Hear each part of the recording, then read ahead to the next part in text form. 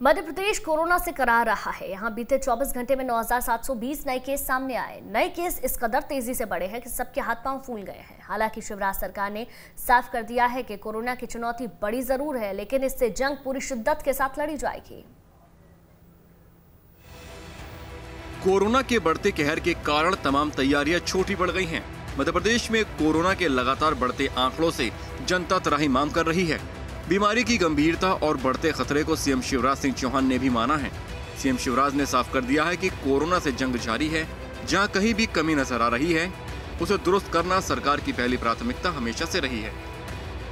Remdesivir injection इकतीस हज़ार हमको प्राप्त हो चुके हैं जो हमने ऑर्डर दिए थे। बारह हज़ार कल सवेरे तक और आ जाएँगे।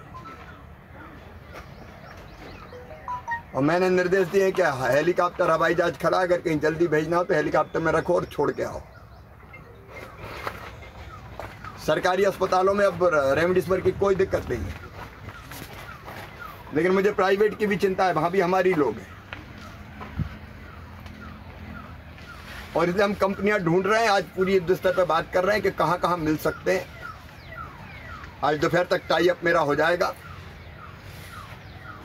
हम जितने इंजेक्शन मिलेंगे वहाँ से उठवाएँगे और प्राइवेट अस्पतालों में भी।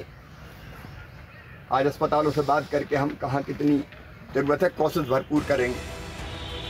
हाल के दिनों में ऑक्सीजन की किल्लत से जुड़ी कई खबरें सुर्खियों में रही हैं जिसे लेकर सीएम शिवराज सिंह चौहान ने फिर से साफ़ कर दिया है कि ऑक्सीजन की आपात व्यवस्था की जा रही है और आगे इसके लिए रेल मंत्रालय से मदद लेने की संभावनाओं पर भी मंथन जारी है।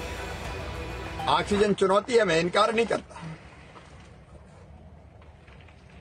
आधा समय यही ट्रैकिंग करने में जा रहा कि टैंकर कहाँ तक पहुँचा? कल दो मीट्रिक टन ऑक्सीजन की उपलब्धता थी। आज बढ़ा के हम 280 मीट्रिक टन कर पाए। ऑक्सीजन के टैंकर पर पुलिस बिठाते हैं, समय पर पहुँच जाए, कहीं रोका टोकी ना हो। आज मैंने रेल मंत्री जी को सुझाव दिया है, आग्रह किया है कि संभव अगर हो, मुझे पता नहीं संभव है कि नहीं प्रैक्टिकली। क्योंकि हमारे यहाँ नहीं है राउर किला से, भिलाई से। क्या पूरा ट्रक मालगाड़ी पे चढ़ाया जा सकता है टैंकर का? जिससे थोड़ा समय बच पाए। क्योंकि एक घंटा भी लेट होती है तो शासन मेरी थमने लगती और उपलब्धता बढ़े ऑक्सीजन की आज मेरी फिर बात हुई है। हर स्तर पर मैं चर्चा कर रहा हूँ। कोरोना के कष्ट से मध्य प्रदेश कर रहा रहा है, लेकिन हकीकत यही है कि कोरोना संकट यूँ विकराल हुआ है कि तैयारियाँ छोटी नज़र आने लगी हैं। सरकार अपने स्तर पर तमाम कोशिशें कर रही है, ऐसे में जनता को भी अपने हिस्से की ज़िम्मेदारी अब निभानी ही होगी।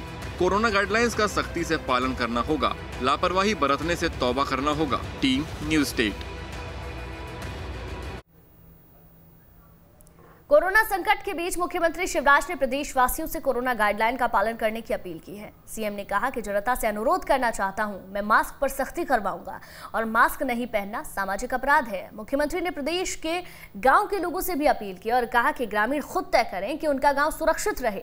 गाँव में जनता कर्फ्यू लगाए और तय करें कि बिना काम के बाहर नहीं जाएँगे। मैं आज जनता से अनुरोध करना चाहता एक मुझे माफ़ कर देना, मैं मास्क पे सख्ती करवाऊँगा। ये मास्क नहीं पहनना सामाजिक अपराध है, आप अपने लिए नहीं, दूसरों के लिए भी खतरा बन रहे हैं, अपने, अपनों की ज़िंदगी से खेल रहे हैं। कृपया करके मत कीजिए, मैं मीडिया के माध्यम से निवेदन करता हूँ। दूसरे कोरोना कर्फ्यू लगाया है जनता ने। मैं हर गाँव के भाई बहनों से कहना चाहता हूँ, वो खुद तय कर लें। कि हमारा गाँव में कर्फ्यू जनता कर्फ्यू हम बिना काम के बाहर नहीं जाएँगे। सब्ज़ी भाजी ज़रूरी चीज़ खरीदने के लिए कोई दो लोग तय करते हैं, वो जाएँगे, खरीद लाएँगे। ये बहुत धैर्य और संयम का समय है।